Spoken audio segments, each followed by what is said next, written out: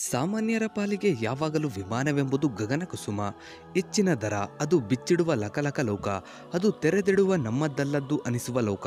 ಯಾರಿಗೆ ಯಾರೂ ಸಂಬಂಧವೇ ಇಲ್ಲ ಎನಿಸುವಂತಹ ವಾತಾವರಣ, ಎಲ್ಲವೂ ನಮ್ಮೂರ ಬಸ್ಸು ರೈಲುಗಳಿಗಿಂತ ಬೇರೆಯೇ ಹಾಗೆ ಕಾಣಿಸುತ್ತದೆ. ರೈಲಿನಲ್ಲಿ ಹತ್ತಿದ ಕೂಡಲೇ ಈ ಮೊದಲು ಗುರುತು ಪರಿಚಯವೇ ಇರದಿದ್ದ ಪಕ್ಕದ ಸೀಟಿನವರ ಜೊತೆ ಆಪ್ತವಾಗಿ ಮನೆಯ ಪಕ್ಕದವರಂತೆ ಮಾತನಾಡಲು ಶುರು ಮಾಡಿ ಬಿಡುವಂತೆ ವಿಮಾನದಲ್ಲಿ ಸಾಧ್ಯವಾಗುವುದಿಲ್ಲ ಎಂಬ ಕಾರಣವೂ ಇರಬಹುದು. ಅಥವಾ ವಿಮಾನ ನಿಲ್ದಾಣದಲ್ಲಿ ಸ್ಥಳೀಯ ಭಾಷೆ ಸಮಸ್ಯೆಯೂ ಇರಬಹುದು. ಮೊದಲ ಬಾರಿಗೆ ವಿಮಾನ ಹತ್ತಲು ಬಂದ ಸಾಮಾನ್ಯರು ವಿಮಾನ ನಿಲ್ದಾಣದಲ್ಲಿ ಮೇಲೆ ಕೆಳಗೆ ನೋಡುವ ಪರಿಸ್ಥಿತಿ ಎದುರಾಗುವುದು ಸಾಮಾನ್ಯ. ಇಲ್ಲೊಬ್ಬ ಇಂತಹ ಸಾಮಾನ್ಯರಿಗೆ ಅಸಾಮಾನ್ಯವಾಗಿ ಸಹಾಯ ಮಾಡಿದ್ದಾನೆ. ಅಮಿತಾಬ್ ಶಾಬ್ ಎನ್ನುವವನು ಮಾಡಿದ ಹೃದಯಸ್ಪರ್ಶಿ ಘಟನೆಯ ಈ ಪೋಸ್ಟ್ಗೆ ಈಗ ಸಾಮಾಜಿಕ ಜಾಲತಾಣದಲ್ಲಿ ಭಾರಿ ಮೆಚ್ಚುಗೆ ವ್ಯಕ್ತವಾಗಿದೆ. ಅಮಿತಾಬ್ ಅವರು ಕಾನಕ್ಪುರದಿಂದ ದೆಹಲಿಗೆ ವಿಮಾನಕ್ಕೆ ಕಾಯುತ್ತಿದ್ದಾಗ ದಂಪತಿಗಳು ವಿಮಾನ ನಿಲ್ದಾಣದಲ್ಲಿ ಏನೂ ಅರಿಯದವರಂತೆ ದೂರದಲ್ಲಿ ನಿಂತಿದ್ದು ಕಾಣಿಸಿತು. ಅಮಿತಾಬ್ ಅವರು ಹೇಳುವಂತೆ, ನಾನು ವಿಮಾನ ನಿಲ್ದಾಣದಲ್ಲಿ ದೂರದಲ್ಲಿ ಈ ದಂಪತಿಗಳನ್ನು ನೋಡಿದ್ದೆ. ಬಹಳ ಸುತ್ತಾದವರಂತೆ ಕಂಡರು. ವಿಮಾನದಲ್ಲಿ ಮೊದಲ ಬಾರಿಗೆ ಪ್ರಯಾಣಿಸಲು ಬಂದವರಂತೆ ಕಂಡರು. ಏನೂ ಅರ್ಥವಾಗದಂತೆ ಗೊಂದಲದಲ್ಲಿದ್ದವರು. ಅವರಿಗೆ ಇಂಗ್ಲಿಷ್ ಬರುತ್ತಿಲ್ಲ. ಆದ್ದರಿಂದ ಅಲ್ಲಿ ಇಲ್ಲಿ ಏನು ಕೇಳಬೇಕು ಎಂಬ, ಎಂಬುದು ಗೊತ್ತಾಗದೆ ಅಲ್ಲಿಯೇ ನಿಂತಿದ್ದರು. ನಾನು ಅವರ ಬಳಿ ಹೋಗಿ ನನ್ನನ್ನು ಹಿಂಬಾಲಿಸಿ ಎಂದೆ. ಅವರು ಬಹುಶಃ ನಾನು ವಿಮಾನದ ಸಿಬ್ಬಂದಿಯೇ ಎಂದುಕೊಂಡು ನನ್ನ ಜೊತೆ ಬಂದರು. ನನ್ನ ಸೀಟಿನ ಮುಂಭಾಗದಲ್ಲಿ ಅವರ ಸೀಟು ಇತ್ತು.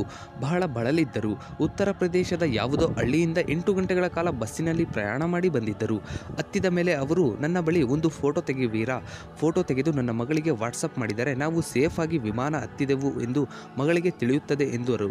ಆಗ ಈ ಫೋಟೋ ತೆಗೆದುಕೊಟ್ಟೆ. ಅಷ್ಟರಲ್ಲಿ ವಿಮಾನದಿಂದ ತಿಂಡಿ ಬಂತು. ಅವರು ಬೇಡ ಎಂದರು. ಎಂಟು ಗಂಟೆಗಳ ಪ್ರಯಾಣದಿಂದ ಅವರು ಬಹಳ ಬಳಲಿದ್ದರು. ಹಾಗೂ ಹಸಿದವರಂತೆ ಕಾಣುತ್ತಿದ್ದರು. ಆದರೂ ಬೇಡ ಎಂದು ಅವರು ಗೊಂದಲದಲ್ಲಿ ಕೂತಿದ್ದರು. ನಾನು ಪರಿಚಾರಕಿಯರನ್ನು ಕರೆದೆ. ಆ ಇಬ್ಬರಿಗೆ ಪನ್ನೀರ್ ಸ್ಯಾಂಡ್ವಿಚ್ ಹಾಗೂ ಜ್ಯೂಸ್ ನೀಡಲು ಹೇಳಿದೆ. ಹಾಗೂ ನಾನು ಕುಡಿಸಿದ್ದೇನೆಂದು ಹೇಳಬೇಡಿ. ಇದು ನಿಮಗೆ ನಮ್ಮ ಕಡೆಯಿಂದ ಉಡುಗೊರೆ ಎಂದಷ್ಟೇ ಹೇಳಿ ಎಂದೆ. ಅವರು ಸಂತೋಷದಿಂದ ತಿಂದರು. ಇಳಿಯುವ ಸಮಯ ಬಂದಾಗ ದಂಪತಿಗಳು ನನ್ನನ್ನು ನೋಡಿ ಮುಗುಳ್ನಕ್ಕರು ನಾನು ಪ್ರತಿಯಾಗಿ ಮುಗುಳ್ನಕ್ಕೆ. ಒಂದು ಚಂದದ ದಿನ ಹೀಗೆ ಕಳೆಯಿತು. ಪುಟ್ಟ ಪುಟ್ಟ ಖುಷಿಗಳು ಹಂಚಲು ಅವಕಾಶ ಸಿಕ್ಕಾಗ ನಮ್ಮ ಸುತ್ತಲಿನ ಪ್ರಪಂಚವು ನಮಗೆ ಖುಷಿಯನ್ನು ಹಂಚುತ್ತದೆ ಅಲ್ಲವೇ ಎಂದು ಬರೆದುಕೊಂಡಿದ್ದಾರೆ. ಅಮಿತಾಬ್ ಅವರು ಈ ದಂಪತಿಗಳಿಗೆ ಸಹಾಯ ಮಾಡಿದ್ದು ನಿಮಗೆ ಇಷ್ಟವಾದಲ್ಲಿ ವಿಡಿಯೋಗೊಂದು ಲೈಕ್ ಕೊಡಿ. ಹಾಗೆ ನಿಮ್ಮ ಅನಿಸಿಕೆಯನ್ನು ತಪ್ಪದೆ ಕಮೆಂಟ್ ಸೆಕ್ಷನಲ್ಲಿ ಕಮೆಂಟ್ ಮಾಡಿ. ವಿಡಿಯೋವನ್ನು ತಪ್ಪದೆ ಎಲ್ಲ ಕಡೆ ಶೇರ್ ಮಾಡಿ. ನೀವಿನ್ನು ನಮ್ಮ ಚಾನಲ್ಗೆ ಸಬ್ಸ್ಕ್ರೈಬ್ ಆಗಿಲ್ಲ ಅಂದರೆ ಈ ಕೂಡಲೇ ಕೆಳಗಡೆ ಕಾಣೋ ಸಬ್ಸ್ಕ್ರೈಬ್ ಬಟನ್ನ ಕ್ಲಿಕ್ ಮಾಡಿ. ಹಾಗೆ ಪಕ್ಕದಲ್ಲಿ ಕಾಣೋ ಬೆಲ್ಲೈಕಾನ್ ಕೂಡ ಕ್ಲಿಕ್ ಮಾಡಿ. Thanks for watching